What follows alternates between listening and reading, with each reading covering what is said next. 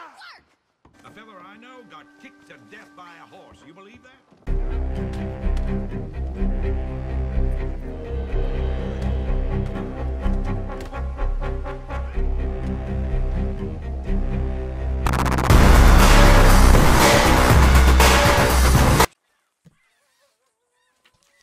How did you get on, Herr Morgan?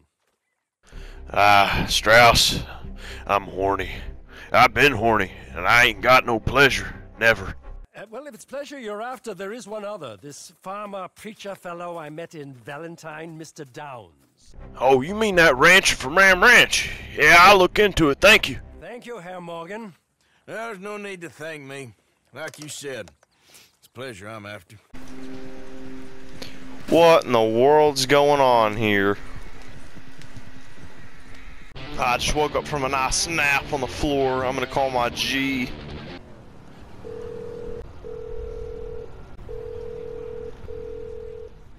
Ethan punk ass don't answer.